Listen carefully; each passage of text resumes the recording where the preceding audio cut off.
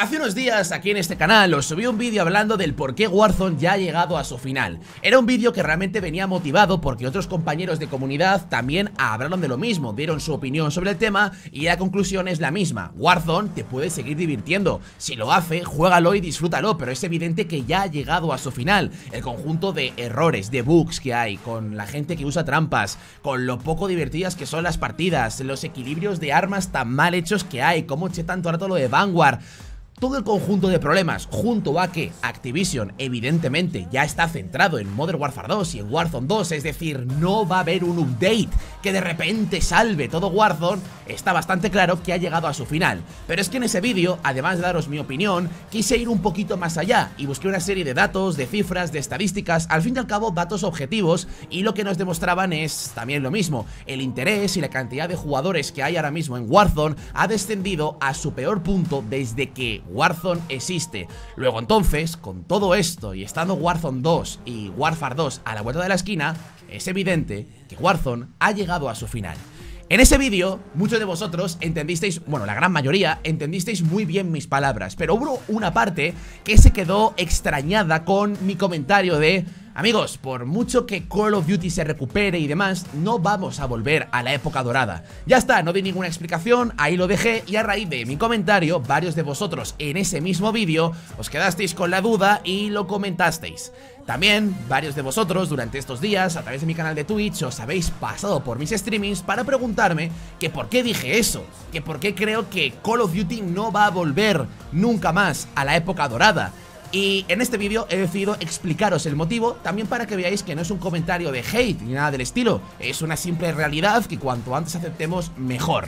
De hecho, nos viene muy bien lo que este año ha ocurrido Para poder explicar mejor las cosas y que entendáis mi comentario Veréis, Call of Duty Vanguard, como sabéis, ha sido el mayor fracaso de la historia de Call of Duty desde Call of Duty 3 Y no porque COD 3 fuese un fracaso, que sí que lo fue en comparación al COD 1 y al COD 2 Podéis buscar esta información Sino porque también en aquel momento había menos jugadores en el mundo de los videojuegos que a día de hoy, ¿no? Como comprenderéis, todo ha evolucionado bastante en cuanto, 18 años o algo así, ha cambiado mucho. Entonces... Estamos en un muy buen año para hacer la comparación Porque fijaos lo que pasó después del Call of Duty 3, ¿vale? Salió el Call of Duty 4, es decir, el Modern Warfare 1 Ese juego, para aquellos que no lo sepáis, fue una revolución No solamente en la saga de Call of Duty que dejaba la Segunda Guerra Mundial y se metía con Guerra Moderna Sino también, además, para el género entero de los shooters Sentó las bases que a día de hoy se siguen utilizando Pero no solamente en Call of Duty, sino en la gran mayoría de juegos shooter que a día de hoy juguéis. Todo eso nace de Call of Duty 4, fue un fenómeno revolucionario, no un simple COD, ¿ok? Cuando parece que esto es insuperable, que has conseguido sentar las bases de siguientes generaciones de juegos dentro del género, aparece Call of Duty 5. Y básicamente lo que hace es igualar COD 4 como poco y dejarnos un pequeño sneak peek de algo que volvería a revolucionar la saga, los zombies. Es decir, tenemos dos años seguidos de absolutos éxitos. Te piensas que esto no se puede superar Pero aparece Call of Duty Modern Warfare 2 Y coge lo anterior y lo arrasa. Y lo arrasa para bien. Lo arrasa en ventas, lo arrasa en interés Siguen mejorando toda la narrativa del modo campaña Y mira que la de COD 4 ya es perfecta. El multijugador se eleva a un siguiente nivel Más capacidad de customizar Más novedades, más innovación Mejores mapas, más armas, más rachas Más capacidad de customizar Y encima un tercer modo de juego. Supera todo lo anterior. Así que seguimos en la racha de joyas de la corona. Pero es que después llega Call of Duty Black Ops 1 Que básicamente es coger toda la innovación de Modern Warfare 2 Meterlo en la Guerra Fría Y encima meter cosas nuevas. Entre ellas, los zombies Que fue una revolución total en Call of Duty y dices, ya está, esto no se puede superar Cuatro años consecutivos y ¡pum! Te aparece Call of Duty Modern Warfare 3 Que te pilla lo anterior y de nuevo Lo sigue avanzando, sigue innovando, sigue metiendo cosas nuevas Que si rachas, que si armas, que si accesorios Que si capacidad de customizar Que si te cierran la historia del Modern Warfare O sea, lo han vuelto a hacer. Y dices, venga, ya se acabó, ya no puede ser que esto vaya para más. Y te aparece Black Ops 2, el juego dentro de Call of Duty que más cerca ha estado de ser un juego perfecto. No existen juegos perfectos, todos tienen errores, problemas y sus cositas, pero ha sido el más cercano. Un multijugador perfecto, un modo zombies perfecto, un vicio que en aquel momento pegábamos que era insuperable. Black Ops 2 consiguió volver a superar todo lo anterior. ¿Qué tengo en mis manos, chicos? Tengo 6 años consecutivos, y no lo digo yo, lo dice la historia, 6 años consecutivos de éxito tras éxito tras éxito, superando lo anterior. 6 años. ¿Qué tenemos a día de hoy? Que si el Call of Duty del año consigue superar más de 3 semanas de vida, ¿ya es todo un éxito? No podemos comparar. Es imposible. Pero hagamos el esfuerzo de comparar, ¿vale? Aún así, para que entendáis por qué dije eso. Imaginaos que Modern Warfare 2 es una absoluta revolución, como lo fue COD 4 en su día, que no lo va a ser, porque ya no se puede revolucionar como en aquel momento un género entero, ¿ok? Pero imaginaos que es un éxito brutal, quitan skill-based matchmaking, súper divertido el multijugador, volvemos a avisar a Call of Duty, de nuevo todo vuelve, ¿ok? Y Warzone 2 lo mismo. ¡Buah! Lo peta a tope y es brutal, todo genial. No se puede repetir la época dorada porque en 2023 no sale ningún juego premium. Hay que esperar a 2024. Así que lo que en su momento fueron 6 años consecutivos de absolutos juegazos, ni aunque Modern Warfare 2 sea lo mejor de lo mejor de lo mejor, ni siquiera puede iniciar otra racha porque se la cortan en el año 2023. Así que tampoco por ese camino se puede, habría que reiniciar todo en 2024 y si supuestamente a partir de ahora los CODs van a ser cada dos años, literalmente no se puede repetir esto jamás, es imposible. Segundo bloque por el cual os digo que no puede volver la época dorada de Call of Duty y que no va a volver. El contexto de internet fue algo muy vital, de hecho a día de hoy algunos quedáis todavía que empezasteis en aquella época a, ver vídeos o en mi caso a hacerlos. En aquella época, si lo recordáis, el público potencial era mucho menor y sin embargo Call of Duty era lo más visto y lo más principal. Quiere decir que se podía llegar a menos gente, porque YouTube, las redes sociales no estaban tan extendidas como a día de hoy, y sin embargo COD reinaba totalmente. No se concebía que alguien iniciase un canal de YouTube sin empezar en Call of Duty. Todo el mundo que a día de hoy veis que en su momento empezó, lo hizo con Call of Duty, o al menos el 99%. Todo era COD, no había otra cosa. A día de hoy, esto ya es inconcebible. A día de hoy, lo que hacen los creadores de COD es irse de COD, porque hay que comer, es lógico, es normal, no hay ningún problema, lo entiendo, no lo digo a malas. Pero para que veáis la diferencia, hace unos años todo el mundo empezaba ahí, a día de hoy todo el mundo se va de esto. ¿Me comprendéis? Es una gran diferencia que para darle la vuelta tienen que pasar muchas cosas. Luego, por otra parte, os pongo un ejemplo con dos salas de cine, lo vais a entender muy bien. En aquella época, te ponían la película de COD 4, de COD 5, de Black Ops 1, Warfare 2, Warfare 3, me da igual, Black Ops 2 el número de sillas que había en esa sala de cine eran 50 y te asistían a ver la película 49. De 50 posibles, te venían 49. Ni aunque nos vayamos a la última vez que Call of Duty lo petó, que fue durante Advanced Warfare o Black Ops 3, en esa sala de cine, donde te proyectan esas películas, tenías 3.000 sillas y te iban 300 personas. Me lo estoy inventando, pero para que lo entendáis.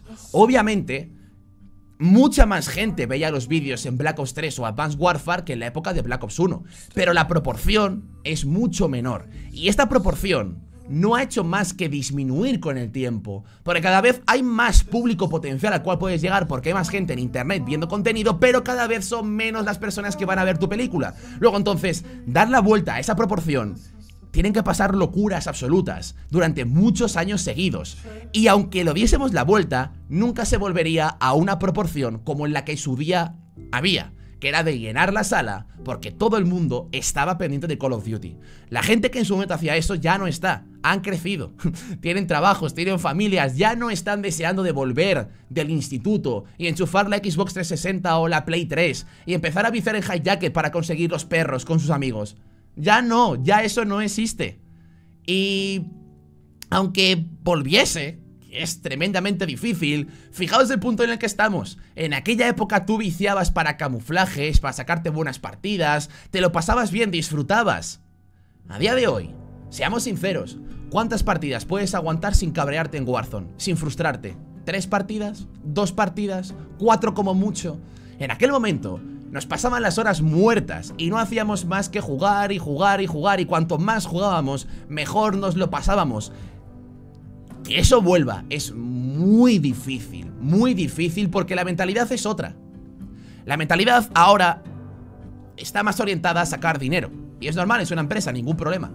Pero en aquel momento se centraban más en la diversión y sacaban dinero, por supuesto que sí, pero era otro concepto. Y algunos diréis, Alfa, ¿por qué este concepto ha cambiado? Y ya con esto cierro el vídeo, porque lo vais a entender, a entender muy bien. La gente que en su momento hizo que Call of Duty se posicionase donde se posicionó, los genios detrás de la saga, la gente que vivía el desarrollo de los juegos de forma apasionada, esa gente ya no está ya no trabajan en los estudios de Activision, ya no trabajan en Infinity War, ya no trabajan en Treyarch, ya no trabajan en Raven Software, ya no trabajan en Sledgehammer Games. No digo que la gente que esté ahora no esté apasionada por lo que hace, no digo eso. Digo que la gente que está ahora no fueron los que en su momento levantaron la saga de Call of Duty. No son los que en su momento nos dieron 6 años consecutivos de absolutas obras maestras. La gente que hizo esto ya no está y no van a volver. ¿No notáis? Si a día de hoy os vais a un COF clásico, cualquiera de estos seis que os he dicho, que la esencia no es la misma.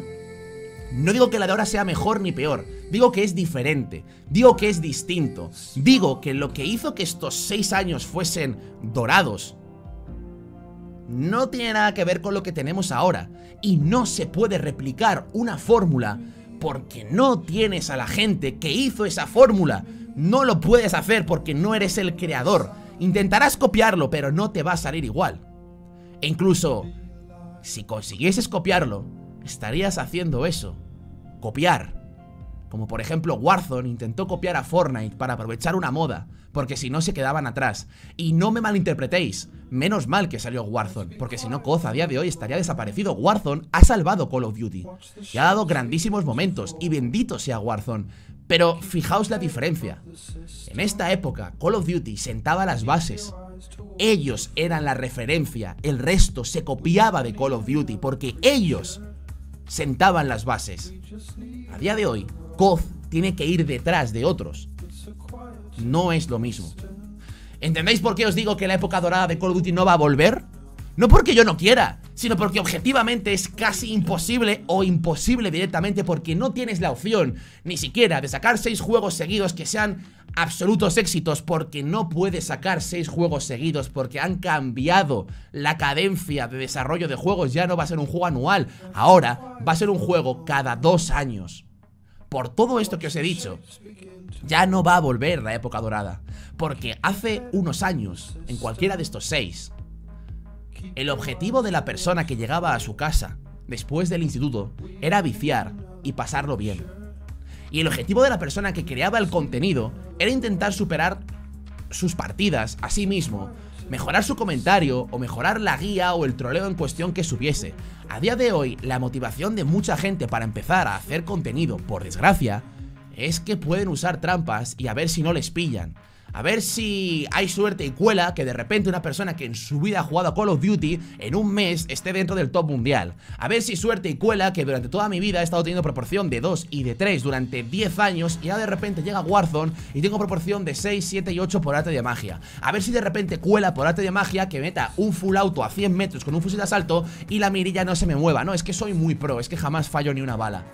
A ver si cuela que nunca me puedan matar por la espalda. A pesar de que el sonido esté roto, siempre sé por dónde me vienen, porque soy muy pro jugando. En aquella época, amigos, el que iba con alguna cosa rara tenía un menú gigante a la derecha y hacía locuras. Te spameaba 200.000 perros, te cambiaba las armas, eh, te, ponía a volar, no se le podía matar, era muy distinto. A día de hoy te clonan la pantalla para que no te des cuenta. A día de hoy te meten un router gaming que tú no ves para tener lobbies súper fáciles y saltarte todo. A día de hoy no se puede igualar la esencia que en aquel momento había. Todo está mucho más corrompido. Ha llegado mucho dinero a este mundillo y ya no es lo de antes. No puede volver la época dorada, porque nada es igual. Fijaos la cantidad de cosas que tendrían que cambiar por completo de forma radical. Y aún así, solo estaríamos copiando lo que en su día no era una copia. Era total innovación. ¿Me entendéis por qué dije eso? ¿Entendéis que no es por hatear? ¿Entendéis que en el punto en el que estamos, realmente para mejorar, estamos bien colocados? No se puede ir peor que Vanguard, no se puede caer más en Warzone porque está por debajo de su momento inicial. A ver, que va a seguir cayendo, pero que me refiero que es que peor de cómo estamos ahora mismo, no es concebible. Warfare 2 venderá muy bien, aunque tan solo sea por el nombre. Luego que la gente se quede dependerá del skill-based matchmaking y demás, pero el impacto que va a tener Warfare 2 y Warzone 2 va a ser muy bueno. La saga se va a recuperar, claro que sí. No digo que sea el fin de KOF, ni mucho menos, solo digo que la época dorada no puede volver. Por eso dije esto el otro día. No por hatear, sino porque, si os fijáis, los argumentos que os doy son muy sólidos y son reales. No me invento nada. Nada, es todo real. Por eso lo dije. Pero no lo dije a malas. Lo dije como algo que hay que aceptar. Simplemente. Y que cuanto antes lo hagamos, pues mejor. ¿Y que es triste? Sí. Pero es que es la realidad. Ya está. Buenos años se avecinan para Koz, es lo que yo creo. Nos recuperaremos de Vanguard, nos recuperaremos de este fracaso absoluto. Sí, lo creo. Pero no creo que lleguemos a un momento de esos 6 años, ni tampoco creo que lleguemos a un momento como Advanced Warfare o como Black Ops 3, en el que todo repuntó. Tanto. No lo creo. Ojalá me equivoque, ¿eh? Ojalá me equivoque. Por favor. Pero bueno, Leo vuestra opinión en los comentarios. Gracias chicos por escucharme, os mando un fuerte abrazo. Y como siempre estamos de vuelta mañana aquí en el canal. Espero que mi mensaje haya quedado claro. No es que no quiera que vuelva esa época Es que no puede volver. Porque todo ha cambiado. Hasta mañana chicos. Chao chao